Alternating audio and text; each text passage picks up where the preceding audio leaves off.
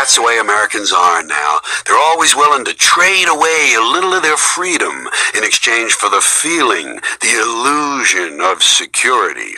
What we have now is a completely neurotic population obsessed with security and safety, and crime and drugs and cleanliness and hygiene and germs. There's another thing, the fear of germs. Where did this sudden fear of germs come from in this country? Have you noticed this? The media constantly doing stories about all the latest infections. Salmonella, E. coli, hantavirus, bird flu, now they have West Nile fever. And Americans panic easily, so now everybody's running around scrubbing this and spraying that and overcooking their food and repeatedly washing their hands, trying to avoid all contact with germs. It's ridiculous, and it goes to ridiculous lengths in prisons, and this is true. In prisons, before they give you a lethal injection, they swab your arm with alcohol. It's true. Well, they don't want you to get an infection. And you can see their point. Wouldn't want some guy to go to hell and be sick. It would take a lot of the sport out of the whole execution. Fear of germs. What a bunch of pussies. You can't even get a decent hamburger anymore. They cook the shit out of everything now because everybody's afraid of food poisoning. Hey, where's your sense of adventure? Take a fucking chance. You know how many people die from food poisoning in this country every year? 9,000, that's all. It's a minor risk. Take a fucking chance. Bunch of goddamn pussies. Besides, what do you think you have an immune system for? It's for killing germs. But it needs practice.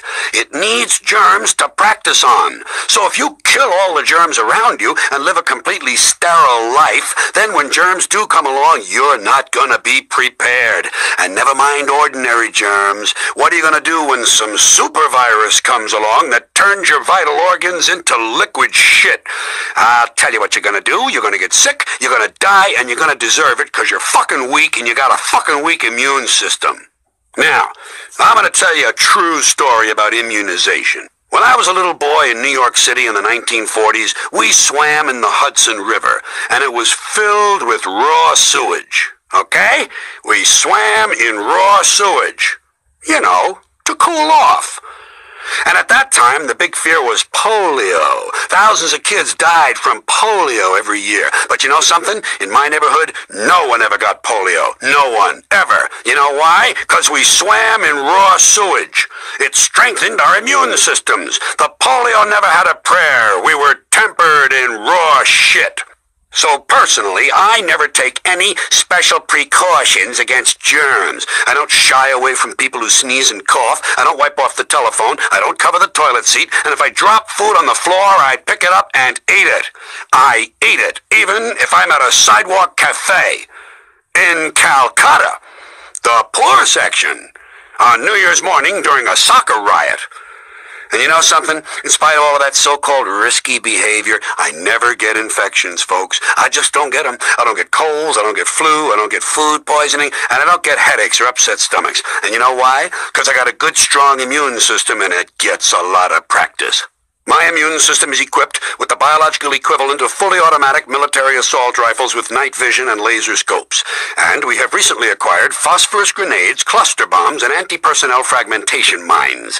So, when my white blood cells are on patrol, reconnoitering my bloodstream, seeking out strangers and other undesirables, if they see any, any suspicious-looking germs of any kind, they don't fuck around. They whip out the weapons, wax the motherfucker, and deposit the unlucky fellow directly into my colon. Directly into my colon. There's no nonsense. There's no Miranda warning. There's none of that three strikes and you're out shit. First offense, bam, into the colon you go.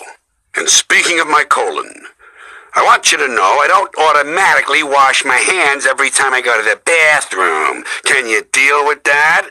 Sometimes I do, sometimes I don't. You know when I wash my hands? When I shit on them. That's the only time.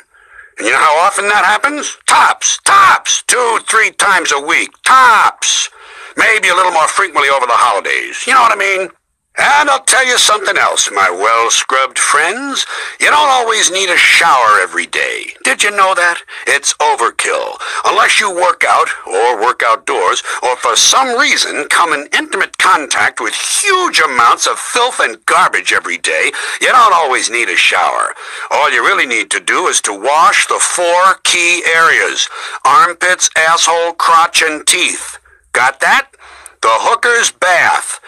Armpits, asshole, crotch, and teeth. In fact, you can save yourself a whole lot of time if you simply use the same brush on all four areas.